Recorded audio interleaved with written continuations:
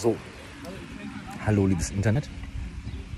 Ich wollte mit dieser Folge äh, mein beliebtes, gut besuchtes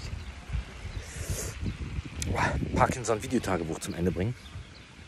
Weil ich habe jetzt die Tiefenhirnstimulation hinter mir, wie man sehen kann. Und äh, mir geht's top, ja. Also in erster Linie geht es mir top, weil dieser sogenannte Setzeffekt, der war mir vorher auch nicht bekannt. Der führt nämlich dazu, dass man ähm, praktisch symptomfrei ist nach der OP. Das heißt keinerlei Parkinson-Symptome mehr. Und ähm, ich kann euch sagen, wenn ihr zehn Jahre mit Parkinson rumgelaufen seid, ist das eine bombastische Sache. Ja, genau. Und ähm, verstehe gar nicht. Ich gehe mal an den Leuten vorbei, habe ich was auf dem Kopf oder was? Egal. Ja. Und ich habe gerade einem Klinikkollegen und mir eine Flasche Bier organisiert.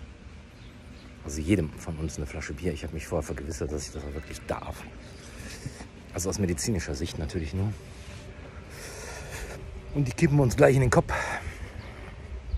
Genau. Und ähm, dann würde ich sagen, ähm, wünsche ich allen Leidensgenossen gute Genesung. Und wenn ihr Parkinson habt und ihr habt die Möglichkeit, die Tiefenhirnstimulation zu machen, dann kann ich das nur wärmstens empfehlen. Am allerbesten in Freiburg. Da sitzt nämlich der beste Chirurg Deutschlands. Und wenn ihr Glück habt, dann operiert er euch. Genau. Ähm, alle Infos dazu und Links und sowas sind unten in der Beschreibung. Und ähm, wenn ihr Fragen habt, dann droppt die einfach hier unten. Ne?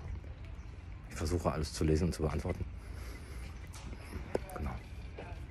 Ich wünsche euch was. Bis bald. Tschüss.